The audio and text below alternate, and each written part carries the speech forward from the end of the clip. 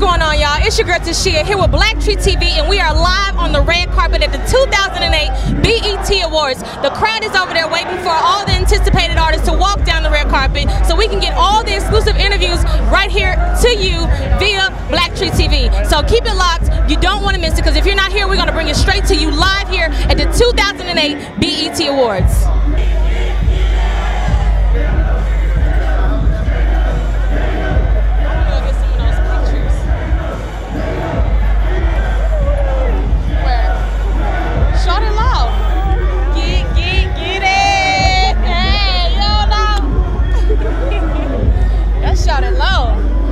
The middle.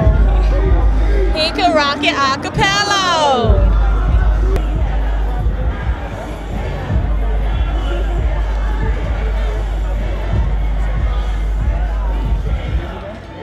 Hey, How you doing? good, how you? What's going on? Black Tree is standing here with Mr. Bryan Barber, whose video is nominated tonight for Video of the Year. Anthem. When you thought of the treatment for Anthem, where did it come from? The video, like what inspired you to, you know, have so many characters in that video?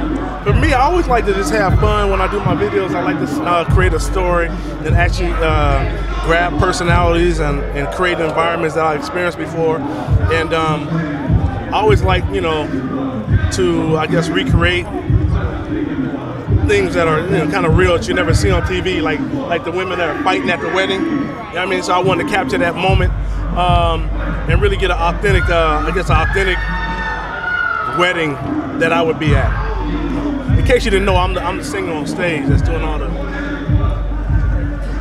Oh, you know what I mean? So anything that I can do my thing, I try to do videos where I can have my cameo. That's what it's about, my cameo. So how has um, Idlewild opened up doors for you in Hollywood? You working on any future films? Yeah, I am working on. Uh, I'm working on a few of them. Idlewild's opened up a lot of doors because I had an opportunity to write and direct and tell a story and work with um, actors and, and really like really push it and not do what was expected. So um, I think the, the the next script that I take that will be completely out the outside the box. I've been very um, selective in what, what my choices are, and so I'm taking my time. I'm gonna ask you a real question. I know the industry, um, music industry, aren't doing the numbers that it used to do, so a lot of the budgets has been cut. Has video budgets been one of the budgets that's been cut? Oh, videos are crazy now. It's it's it's, it's really tough. So I mean, it's, it's good and bad. It's, it's bad because you're not gonna get the magic you used to get. You know, those classy videos. I don't I don't know if you're gonna keep getting those, but I think that it'll force. Um, it'll force directors, new up and coming directors, to really be creative with, with you know, with, with less. Um, I wish there was more money in it because you know, we, it, it was part of also part of the the, the, the music. I think that just as I, I think Hey Ya was huge, but I think the video also helped it be huge. You know what I mean? And I don't know how how often that's going to happen in the future. You know, uh, because they just don't have enough money in the budgets. But you know, it's some good stuff coming out. You got to work with what you got. Who are you looking forward to performing tonight? You know, Lil Wayne, Nelly, Usher. There's some of the performances. Who are you looking to see and you know do their thing tonight?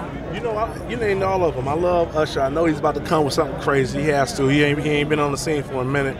Um, uh, you know, Lil Wayne right now, his swagger's so crazy. He's just electric. So he's a, he's a rock star right now. So we're gonna see what he got. He's Tupac. So we about to see Tupac on stage. That's big. That's said- big. Yeah, that's Tupac right there. Thanks for talking to us. See you later.